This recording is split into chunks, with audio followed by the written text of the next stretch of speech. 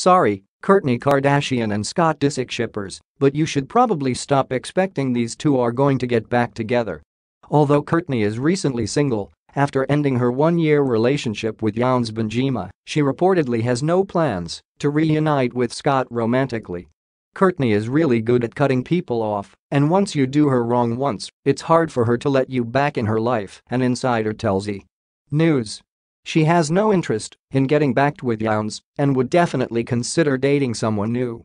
This report matches up with what both TMZ and People reported earlier this month that Kourtney and Scott will not be getting back together. The two split for good in 2015 after he was caught cheating on her, but they spent several months in limbo. Eventually, they both moved on. Kourtney made things official with Younes in spring 2017, and just months later, Scott was in a relationship with Sofia Richie. Despite the 15-year age difference, Scott and Sofia have remained together for the past year. However, despite his relationship with Sofia, Scott hasn't been shy about talking about the possibility of a reconciliation with Kourt. We always said we'd try to get back together when we're 40, he admitted on the season premiere of Keeping Up with the Kardashians earlier this month. However, he also admitted to being in a good place with Sofia and said that Kourtney is simply just too crazy for him.